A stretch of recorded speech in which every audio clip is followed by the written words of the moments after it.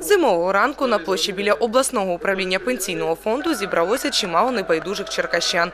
Не злякав мітингувальників навіть лютий мороз. Усіх поєднала одна мета, а саме недопущення грубих порушень конституційних прав громадян на соціальний захист, що включає право на отримання гідної пенсії. Тож своїм протестом учасники акції вимагали від прем'єр-міністра здійснити перерахунок пенсії з дня встановлення нового розміру прожиткового мінімуму відповідно до закону. Безумовно, ну не можна таким ганебним чином відноситись до наших пенсіонерів. Є закони України, які прийняті вищим законодавчим органом нашої держави Верховною Радою. Їх треба виконувати. Пенсії ростуть е, набага- набагато е, повільнішими темпами ніж сьогоднішній рівень життя. Підіть, будь ласка, давно чи ходила Юлія Володимирівна на, на ринок купляти якісь собі продукти харчування. Хай піде подивиться. Хіба можна за ту пенсію купити що-небудь?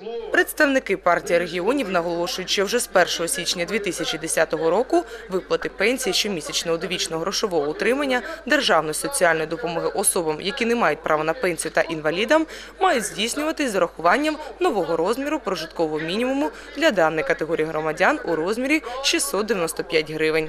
Нам сьогодні однаково, якого кольору буде ця коаліція, майбутня чи влада, як та різнокольорова кішка, ліж вона ловила мишей. Кішки сьогодні такої нема. Але нам дуже важливо, хто нам покаже дорогу, куди нам йти, до якого берега пливти, хто нас консолідує і хто нас нагодує, дасть достойну пенсію. Це буде наш перший президент, не Леонід Макарович. От.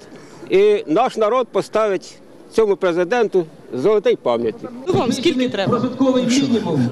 Ну, І сьогодні за 900 хіба ж хто, хто продержиться, за 900 рублів Сьогодні пенсіонер. прем'єр Тимошенко Більше тисячі треба, так? Та більше, пенсіонеру в карму.